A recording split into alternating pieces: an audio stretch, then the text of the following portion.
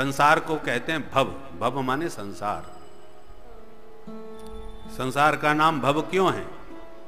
क्योंकि हम जैसे कर्म करते हैं, ब्रह्मा जी वैसा ही शरीर दे करके संसार में पटक देते हैं। तम मूषको भव तम मानवो भव। तो चौरासी लाख जो शरीर हैं, उनमें बैठा करके हमारे कर्म के अनुसार ब्रह्मा जी भव माने पैदा कर देते हैं। इसलिए संसार का नाम भव है। और भव रोग की भव रोग माने पुनरअपि जननम पुनरअपि मरणम। पैदा हो गए, कितना कष्ट हुआ? नौ महीने तक माँ के पेट में कष्ट पाए और फिर भयंकर कष्ट के साथ जन्म हुआ।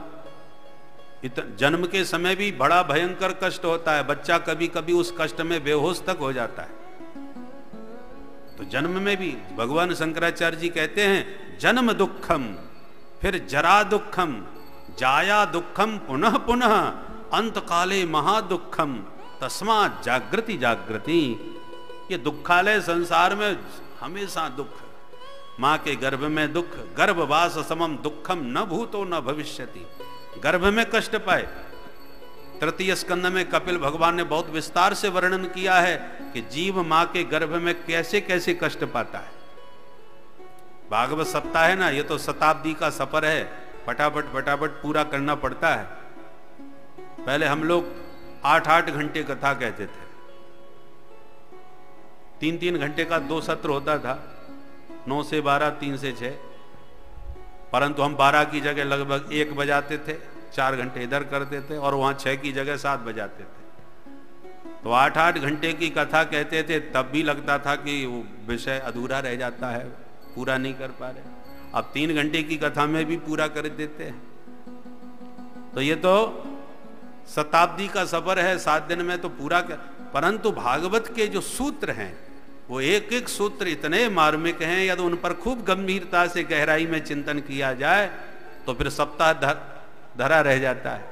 फिर अरे अन्य विषयों को छोड़ना पड़ता है।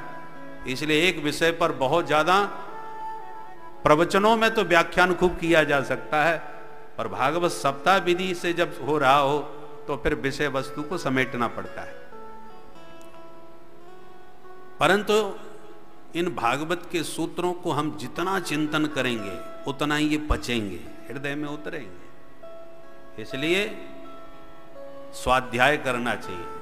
पढ़ते समय आप खूब चिंतन कर सकते हो, नित्य स्वाध्याय करना चाहिए। तब ये सूत्र हृदयंगम होते हैं, पचते हैं। बोलो, राधे राधे। तो इस प्रकार से गौकर्ण जी ने जब प्रश्न किया कि सबको विमान क्यों नहीं आया, तब भगवत पार्षदों ने समझाया, सुनने में भेद हुआ, इसलिए परिणाम में भेद हुआ। धुंध देखो ये कल्प वृक्ष है। कल्प वृक्ष के नीचे जो कल्पना करो, पूरी हो जाती है। ऐसी भागवत कल्प वृक्ष है। निगम कल्प तरो। वेद रूपी कल्प तरु का वृक्ष, ये फल है। अब इससे जो कामना करोगे, वो पूरी होगी।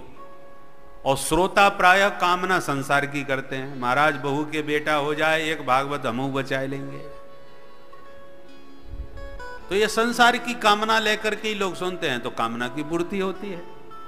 मोक्ष की कामना से केवल धुंधकारी ने सुनी थी, इसलिए विमान आ गया, मुक्ति हो गई।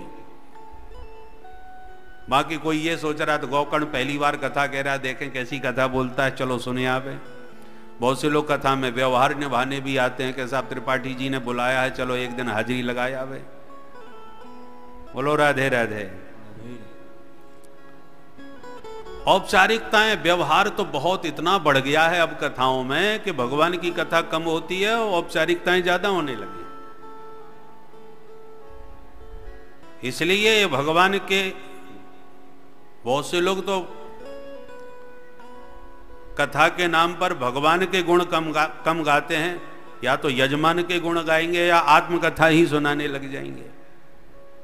तो ऐसी स्थिति में वस्तु में या दवाई में मिलावट हो जाए तो वो उतना फिर प्रभावशाली नहीं रह जाती।